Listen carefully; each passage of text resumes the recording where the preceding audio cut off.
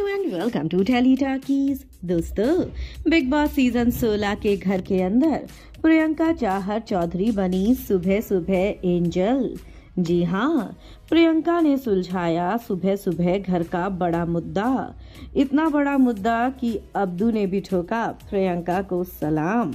मान गया कि प्रियंका है घर की पीस मेकर यानी कि घर की एंजल बोले तो शांति दूत, क्या कुछ हुआ है? चलिए हम आपको बताएँगे पूरे की पूरी खबर इस रिपोर्ट में टेली टॉकीज की।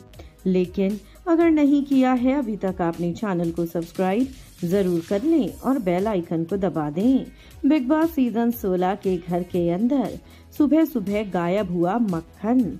मक्खन यानी कि बटर, जिसके बाद निमृत ने शिव से लिए पंगे और कहा कि शिव लगता है तूने ही गायब किया है बटर को। हालाँकि प्रियंका ने ये भी कहा कि नहीं, शिव ने नहीं, शालीन ने किया हो सकता है, जिसके बाद शक की सुई टीना पर भी गई कि टीना को भी मक्खन पसंद है। उसके बाद अर्चना पर भी गई कि अर्चना भी इस तरह से चीज़ों को छुपा ज़रूर लेती है। लेकिन फिर एक बड़ा कदम उठाया प्रियंका ने।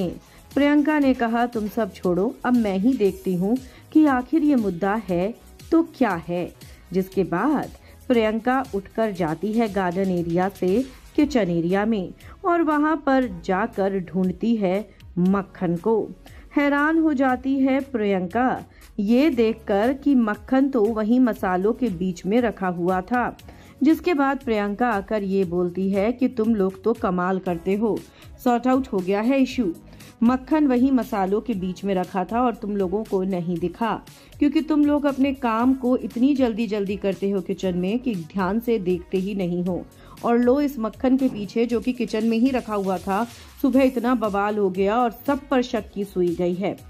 और कोई बड़ी बात भी नहीं है। इस घर के अंदर हम सब एक दूसरे के लिए इतना नेगेटिव सोचने लगे हैं कि अब तो एक दूसरे को गलत सोचना बहुत आम सी बात हो गई है। जबकि सामने वाला गलत हो या ना हो, उससे कोई फ़र्क नहीं पड़ता। जिसके बाद अब्दू को भी प्रियंका बताती हैं कि अब्दू बटर मिल गया। उसके बाद अब्दू कहता है thank you so much Priyanka. तुम्हारी वजह से आज एक बहुत बड़ा मुद्दा शांत हो गया।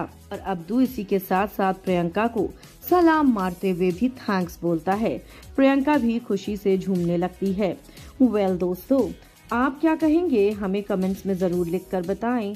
वीडियो को लाइक और शेयर करना ना भूलें।